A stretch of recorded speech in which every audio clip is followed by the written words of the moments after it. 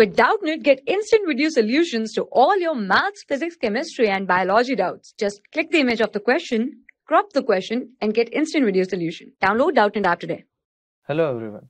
So in this question we have four different statements and we have to determine which one of the uh, following pairs that means which one which two of these statements are correct.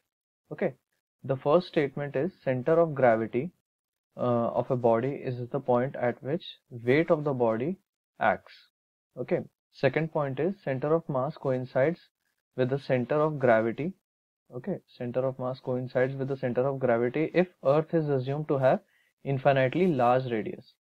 To evaluate gravitational field intensity uh, due to any point at an external point the mass of the body can be considered to be concentrated at its center of gravity. The radius of gyration of a body rotating about an axis is the length of the perpendicular dropped from center of gravity of the body to the axis. Okay, uh, which one of the following pairs of statements is correct? So here we can see that the first statement center of gravity of a body is the point at which weight of the body acts.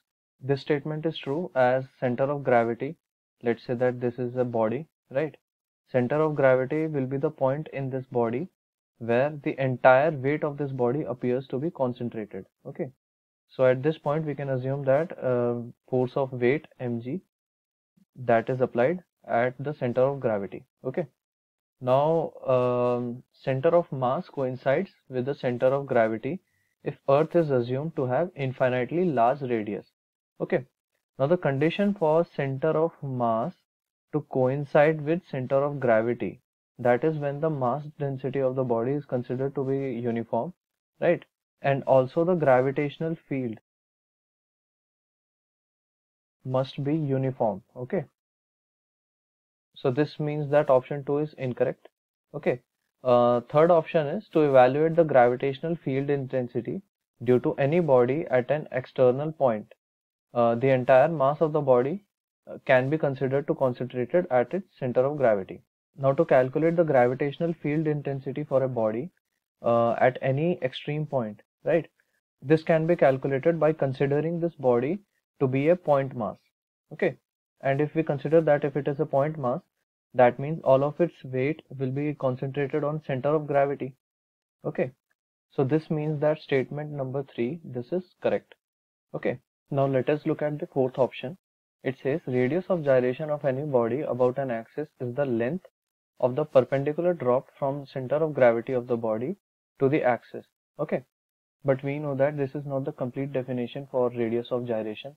Radius of gyration of a body about an axis of rotation right? Let's say this is the axis of rotation is defined as the radial distance of a point from the axis of rotation right? Let's say this is the point uh, from axis of rotation at which as if the whole mass of the body is concentrated. And this distance of radius of gyration this is in such a way that uh, the moment of inertia does not change okay? It remains the same. And its equation is given as k is equal to under root of i moment of inertia divided by mass okay? Uh, but here there is nothing about uh, moment of inertia being same right? So this statement is all not true okay? Therefore the correct statements here will be statement 1 and statement 3 okay uh, so the correct option is option C. For class 6 to 12, IIT JEE and NEET level. Trusted by more than 5 crore students. Download Doubtnut app today.